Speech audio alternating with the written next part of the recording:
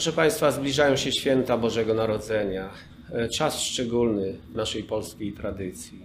Czas zadumy i refleksji.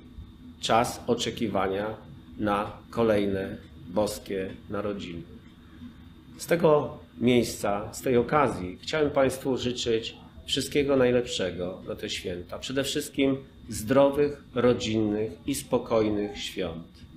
Wspaniałych rozmów przy świątecznym stole i jeszcze wspanialszych prezentów od Gwiazdora czy Mikołaja.